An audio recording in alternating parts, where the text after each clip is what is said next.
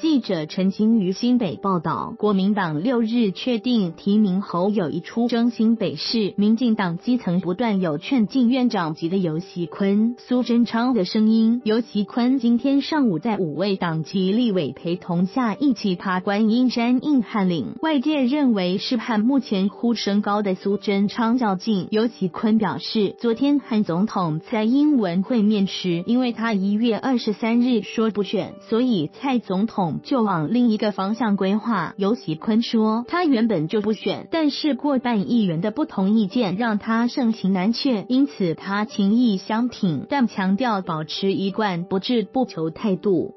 至于外传，昨天总统是要劝退尤喜坤，尤喜坤回应自己从头到尾就是保持不治不求，没有改变，没有要参选，何来劝退？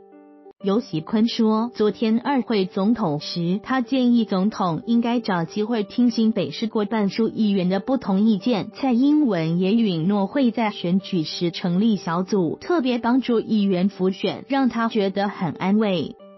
继日前过半民进党籍议员召开记者会相挺尤喜坤选新北市之后，郑国会立委高志鹏今天举办登山活动。尤喜坤在五位党籍立委高志鹏、林淑芬、吴其明、江永昌和罗志正陪同下爬观音山，并在山顶远眺新北市，宣誓意味浓厚。数月前积极争取党内征召的立委吴炳瑞和罗志正也曾举办观音山践行活动。国民党六日确定提名侯友谊出征新北市，民进党的新北市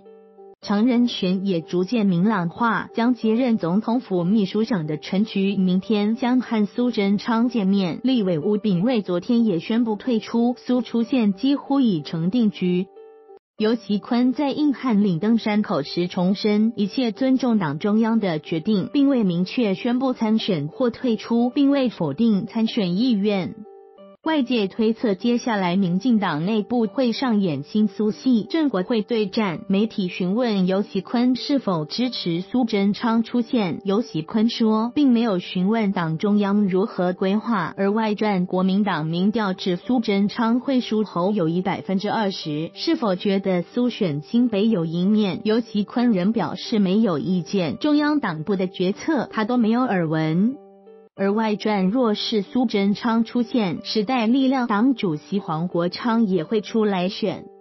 由于尤喜坤和黄国昌关系不错，媒体询问届时是否协助泛绿整合，尤喜坤回应，他一向以大局为重，尊重党中央和党的人选，党中央的人选都会支持。